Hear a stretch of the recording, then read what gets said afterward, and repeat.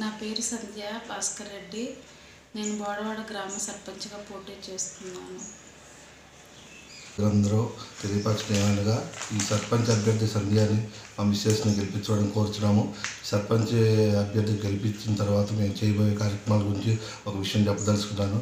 ఊళ్ళో ప్రతి చిన్న సమస్యను కూడా మా ఎమ్మెల్యే స్థానిక ఎమ్మెల్యే మొండిత జగన్మోహన్ గారు గారి చేసిపోయి అతను గారి దృష్టి చేసిపోయి అధిష్టానం దృష్టి చేసిపోయి ప్రతి సమస్యను కూడా క్షుణ్ణంగా ఆలోచించి నాకు తెలుసు కాబట్టి ఇరవై సంవత్సరాల నుంచి రాజకీయ జీవితంలో ఉన్న కుటుంబం మాది.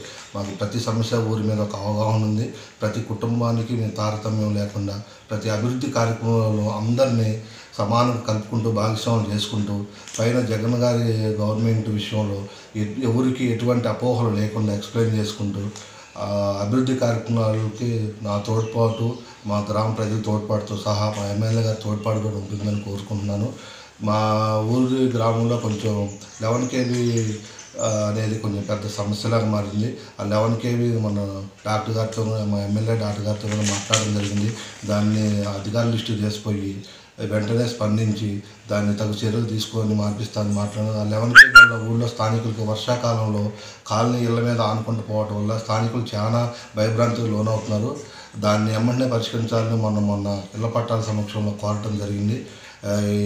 వాటర్ కానీ డ్రైనేజ్ కానీ అది చాలా ఇంకా చిన్న సహకారంతో జగన్ గారి గవర్నమెంట్ సహకారంతో మా ఎమ్మెల్యే గారి కృషితో అన్ని సామాజిక వర్గం కలుపుకోవడం నవరత్నాలకు సంబంధించిన అన్ని రంగాల్ని అసలుకి కులమత భేదాలతో పార్టీలతో అతీతంగా అందరికీ అందేలాగా చూడటం నేను ఫస్ట్ ఫస్ట్ తీసుకున్న నిర్ణయం. ఎందుకంటే జగన్ గవర్నమెంట్ విషయంలో కులాలకి మతాలకి పార్టీలకు అతీతంగా జరుగుతుంది కాబట్టి మమ్మల్ని ఈ పార్టీ అభ్యర్థిగా నేను పోటీ చేసిన మా మిస్సెస్ గారైన తరపున సంజయ్ గారి తరపున వాహనం ఉంది కాబట్టి డ్రైనేజీలు కానీ వ్యవస్థ కానీ ఊళ్ళో ప్రతి సామాజిక వర్గాన్ని కలుపుకొని పోతూ అందరితో తల్లో నాయకులాగా ఉంటానని మా ఊళ్ళో సమస్యలన్నీ ఎమ్మెల్యే గారి దృష్టికి తీసుకుపోయి అన్నిట్లో పరిష్కరించడానికి నా వంతు కృషి నేను చేస్తానని ఇన్ని మూలంగా తెలియపరచడం అయింది.